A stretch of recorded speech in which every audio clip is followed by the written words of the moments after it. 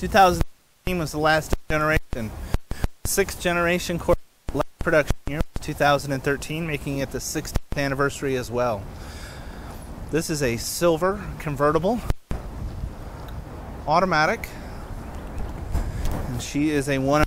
We'll go over that here in just a few moments. Beautiful black top, of course, black interior.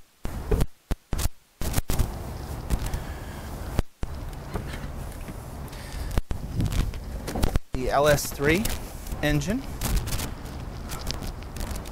This car has an has added drilled and slotted rotors. And it is wearing Firestone wide oval tires.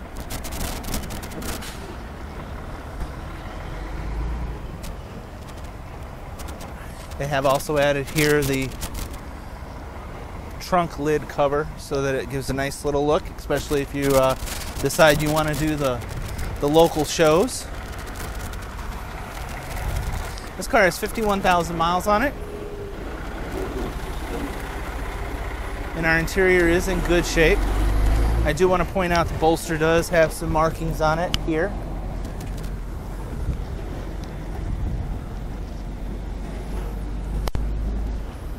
And this is a 1LT car or a base car. Those came with a manual top. And uh, as I let you look at the rest of the car, I am going to show you very quickly how easy it is just by releasing that right there. I'm going to reach in underneath the tonneau cover here and get the uh, button to release it. Now, I struggle a little bit. I'm going to show you why. So, we'll accordion this up.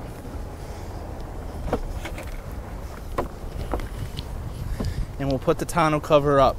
The reason I was struggling, here's the button to open that up, and it's right behind the acrylic windscreen. We'll put this down here and then close it. So as you can see, you kind of got to get your hand in between the acrylic here and this. But it is a very easy operation.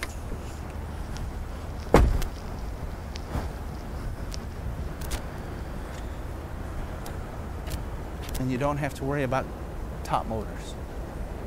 Folks, if you'd like to know more about this Corvette or any of the hundreds of Corvettes we carry in stock, give me a call 770 605 2056 or email john at buyavette.net. We'll look forward to seeing you out on the road.